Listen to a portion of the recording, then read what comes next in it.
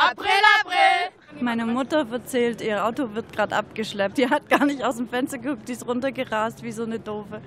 So kleine Sachen macht man ja schon so. Man sagt dann, keine Ahnung, irgendwie, dass irgendwas passiert ist, was dann nicht passiert ist.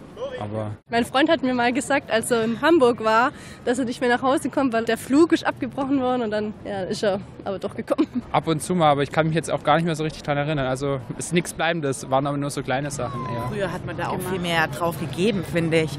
Oder hat, mich, hat sich da einen Spaß gemacht? 1. April, irgendwann, irgendwas lässt man sich einfallen, aber irgendwie ist das gar nicht mehr so wie früher. Manchmal weiß genau. man das ja auch gar nicht. Es kommt dann immer im Nachhinein. Manche glauben das ja auch, erzählen das dann weiter und dann muss man natürlich sagen, nein, das war, war natürlich ein Scherz.